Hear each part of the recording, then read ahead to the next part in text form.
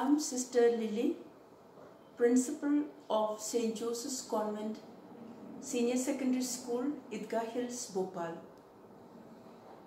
I am grateful to AK's Education Award Committee for nominating me for this special privilege.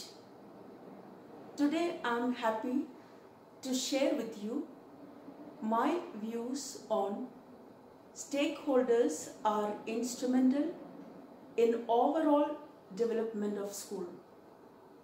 Now, who are these stakeholders?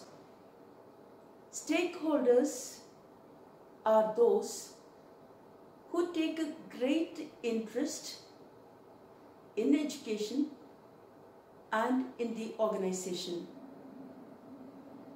So, in terms of education, a stakeholder is someone who has a vested interest in the success and welfare of a school or in the education system.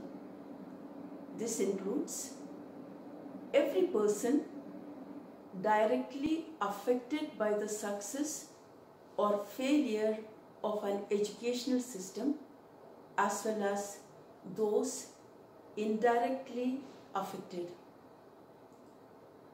For example, school board members, administration, teachers, they are immediately in touch with the education.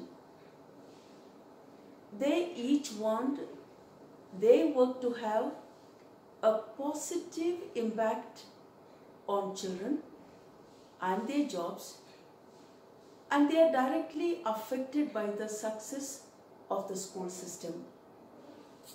Parents desire a successful education system for their children while the students themselves have an interest in receiving a good education.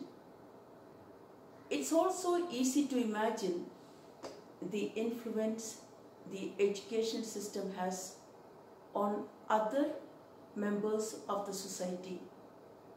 They too are a part of the stakeholders. So, together as one system, when we work together for the sake of the students, for the sake of the children, it brings in success to the institution and also to the children